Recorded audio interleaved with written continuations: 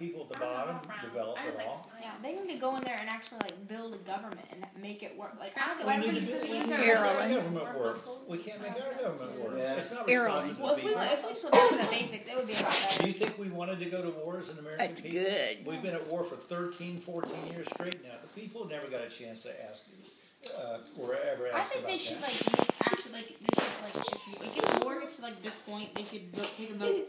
It's supposed to be the Congress who had to vote to go to war. That's in the Constitution. Then Oh, they but passed- now with the War Powers Act, the Yeah, president can but do that's only good for just 90 90 days. days. Yeah, Yeah.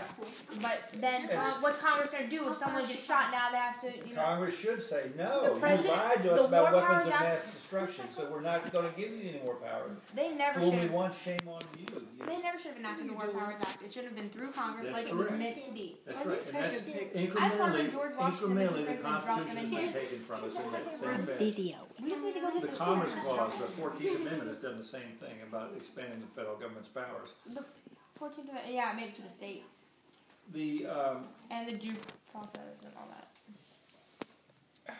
I mean, they made it illegal for a farmer who's growing his own wheat in his, to feed to his own cattle. It wasn't crossing state lines, but they declared that was interstate commerce, uh, commerce because him using his own wheat affected the market because he didn't have to go buy wheat. So that affected the, the interstate market. Even though he grew his own, I mean, so by this interpretation, hell? they've expanded the Commerce Clause Oh, to be that the federal government has control over things that they shouldn't have They, control they over. shouldn't. They should only regulate certain things, like really big things. Like Is that a, is that a federal law? Yeah, the Commerce, the, the Commerce Act is what has expanded the federal powers uh, across all the states. Usually be the states had most Right, right, right, right, right, okay.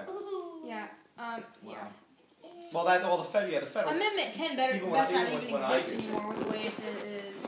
The states have like not even the powers that the Constitution wanted them to have anymore. Very. Everything's I mean, by we the see government. certain things like Colorado legalized marijuana. Well, that's Like, yeah, because it's politics. specialized out in the Constitution. Right? Well, it doesn't Yes, specify I that. vote. in Florida.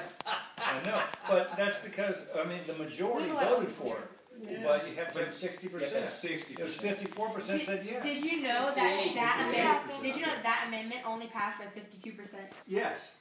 I think that is the funniest thing in the world. amendments